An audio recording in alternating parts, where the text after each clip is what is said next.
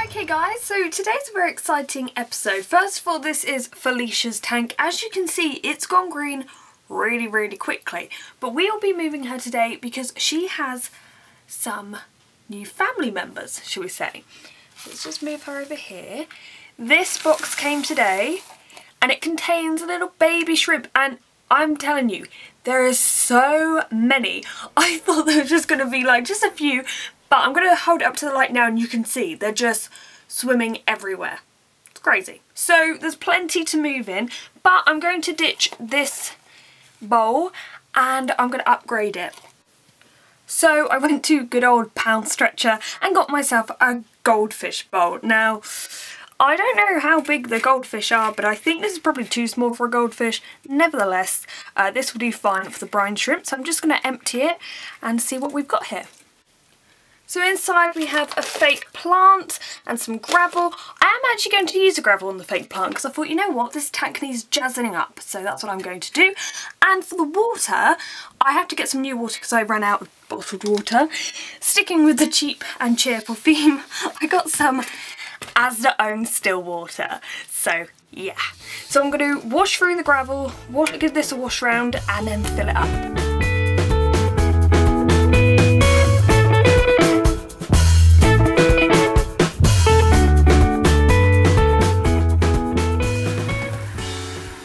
So this is the situation, the pump is on, I've put salt in the water, it looks a little bit murky but it's clearing. I put the bag of shrimp in here because if I remember correctly, when you have an animal, you're meant to put the bag in the water so they don't get thermal shock. I think I haven't had anything that lives in water like this since I was like four and I had a goldfish that I called Pike and he was grey. Um, I think he died of an identity crisis, like he literally didn't know what he was. Is he a goldfish? Is he Pike?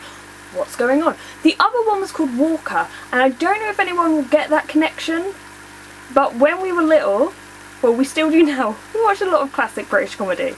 So uh, yeah, Pike and Walker there. So anyway, I'm going to leave this now. I don't really know how long I'm meant to leave them in there. I might release them later on today. I say today, it's night time, but it, the water isn't cold, and then once I add them in, I will add in Felicia. Okay, so it's been a while. I've just turned off the pump because I didn't know whether to add them in with a pump on or not. Plus, it makes a lot of sound. So let's quickly open this bag. Now, they're so small, I actually can't see where they are at the moment. But what I'm going to do now is add in Felicia. Now, if you're confused about sea monkeys and brine shrimp, Felicia is a hybrid. So, you know, they're related, but she's a hybrid and she's easily recognisable because she has that black little thing on her arm.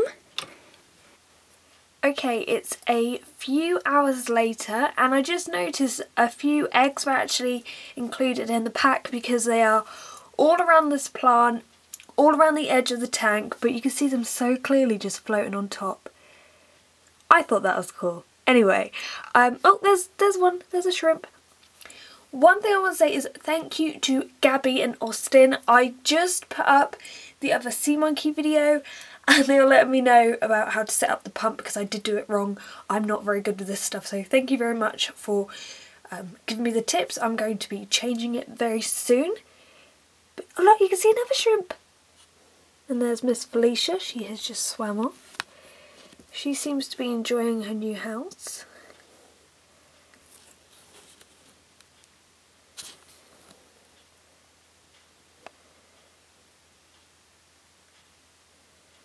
So basically what I need to change is I need to add this into the tubing. See, I thought they just gave me two different like ends to the tube and I was like, oh, that's very generous. But um, no, this actually needs to go in here. So just gonna add this in.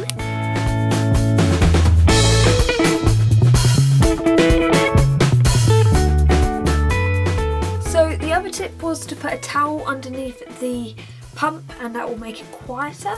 Now I don't have a towel with me but I have some spare material that I'll just put underneath it. It's currently just sitting on some DVDs.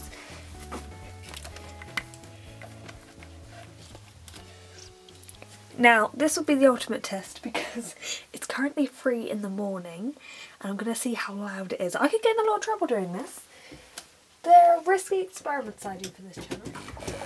Oh, that is a lot better. Wow, you know, slightly better.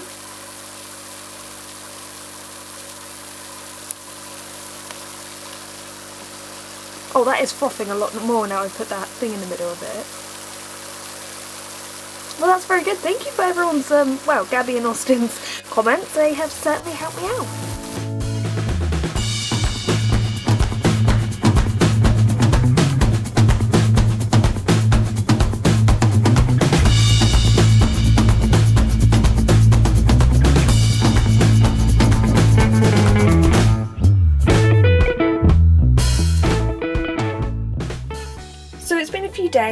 And unfortunately it looks like Felicia has died.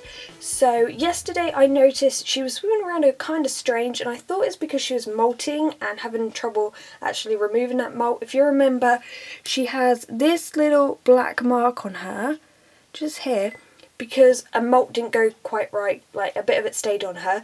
She still swam around, she didn't have a problem with that, but I think when she went to molt again, she couldn't quite get it off. And I took this picture, and if you look close up to her, it kind of looks like there's two of her, like there's a molt around her that she can't quite get off. So maybe it's that, I'm not quite sure. She also developed a few little black spots on her too. So maybe that's what happened, I don't know. Um, Earlier today she was like swimming around fine, I just came up and yeah, she was just at the bottom of the tank. So obviously she hasn't started decomposing yet, however what I noticed is when I took a photo of her, um, the egg sac was a lot more emptier than it was before, so I don't know if she has laid eggs or that area has started decomposing. It seems like that's the first area to go. It tends to go mushy straight away, so I don't know, maybe there's some of her eggs in there, maybe not. We do still have all the shrimp, so that's cool. There are tons and tons of them. I don't know if this is still going to be called sea monkeys because technically I don't have any sea monkeys left. So um, I don't know. If you think I should change the name, give me some suggestions down below. If you like the name, we'll keep it.